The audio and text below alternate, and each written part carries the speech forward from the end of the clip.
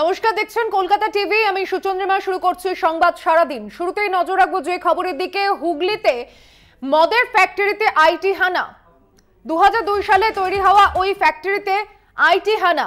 হুগলির মহানাদে মদের ফ্যাক্টরিতে আয়কর হানা। কুড়ি পঁচিশ জনের আধিকারিকের একটি দল আসে ওই ফ্যাক্টরিতে। সকালে সেখানে হানাদারি করতে আসে আইটি আধিকারিকরা। দু হাজার দুই সালে ফ্যাক্টরি তৈরি হয় বলে সূত্রের খবর।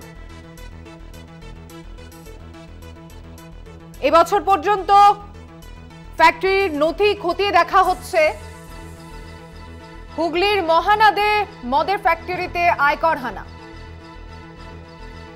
কুড়ি থেকে পঁচিশ জনের আয়কর আধিকারিকরা সেখানে এসেছেন।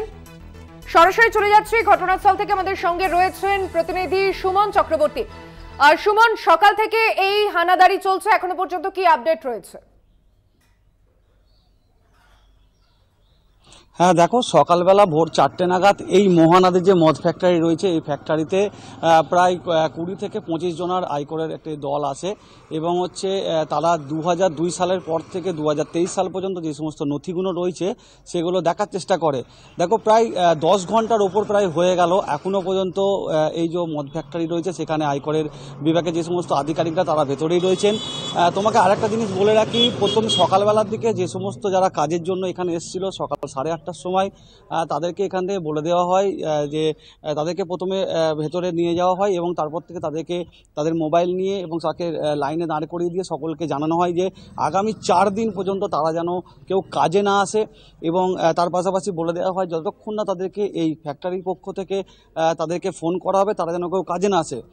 এর পাশাপাশি তোমাকে আরও একটা জিনিস জানিয়ে রাখি গতকাল রাত্রিরে যারা এখনও ডিউটি করছিল নাইটে সে সমস্ত তারা আহ, এখনও পর্যন্ত তারা ভেতরে রয়েছে তাদের মোবাইল নিয়ে নেওয়া হয়েছে এমনই অভিযোগ করছে এখানকার যারা বেরোচ্ছে একজন একজন করে এবং যে সমস্ত লোকেরা কালকে রাতে কাজ করছিল তাদের পরিবারের লোকেরা মাঝে মধ্যে আসছে তারা তাদের বাড়ির লোকের সঙ্গে দেখা করার জন্য যেহেতু তারা নাইটে ডিউটি করেছে কিন্তু সকাল হয়ে যাওয়ার ফলেও তারা এখনও কেন বাড়ি যেতে পারেনি একটা উদ্বিগ্নের মধ্যে রয়েছে। সুচন্দিমা সুমন আপাতত ধন্যবাদ তোমাকে। সুমন চক্রবর্তী আমাদের প্রতিনিধি, কথা বললাম তার সঙ্গে। হুগলির মহানাদে মদের ফ্যাক্টরিতে আয়কর হানা। সকাল ভোর চারটে থেকে এখানে আধিকারিকরা এসে হানাদারি করছে। দু হাজার দুই সালে তৈরি এই ফ্যাক্টরিতে এবছর পর্যন্ত যে নথি, তা খতিয়ে দেখা হচ্ছে।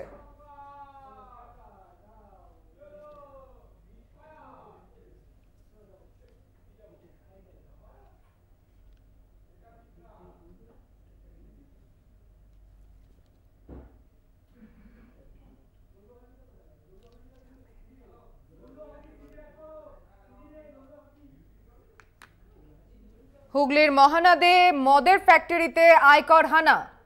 দু সালে ফ্যাক্টরিটি তৈরি হয়। ভোর চারটে থেকে আয়কর হানা দিতে এসেছেন কুড়ি থেকে পঁচিশ জনের আধিকারিকরা। নাইট শিফটে যে কর্মীরা কাজ করছিলেন, তাদেরকেও ভিতরে আটকে রাখা হয়েছে। মোবাইল বাজেয়াপ্ত করা হয়েছে প্রত্যেকের। কর্মীদের বাড়ির লোকজন সকালে এসে খোঁজ খবর নিলে তাদেরকে ভিতরে ঢুকতে দেওয়া হয়নি বা কথা বলতেও দেওয়া হয়নি, এমনই অভিযোগ।